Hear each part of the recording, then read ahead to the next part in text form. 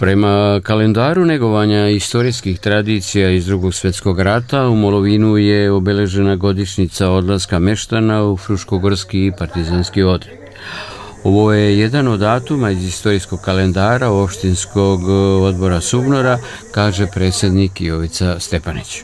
Obeležavamo 77. godišnicu masovnog odlaska u Narodno-slobodlačku borbu meštana Molovina i okolnih sela, pošto Molovin je isturen skroz opkoljen Hrvatskom, a verovatno je revolt, meštani su iz revolta, pošto se desilo pre 78 godina u junu mjesecu i u septembru 1942. kada su oterani Romi i meštani Molovina u logor.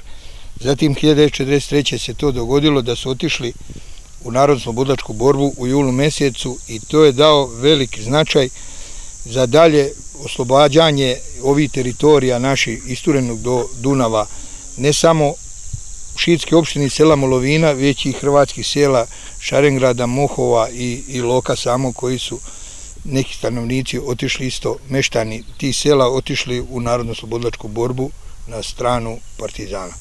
Na spomen obeleži na seoskom groblju položen je venac uz evociranje uspomena na ovaj istorijski datum, a u toku drugog svjetskog rata u partizanskim jedinicama učestovalo je 107 meštana Molovina. Svoje sećanje izneo je jedan od preživelih učesnika Gavrilo Vinčić iz Šid.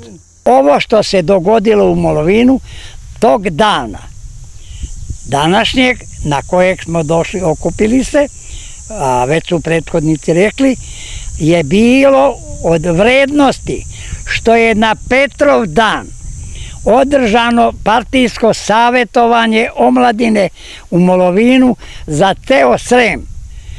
To je organizovao predsjednik omladine Nikola Andrin.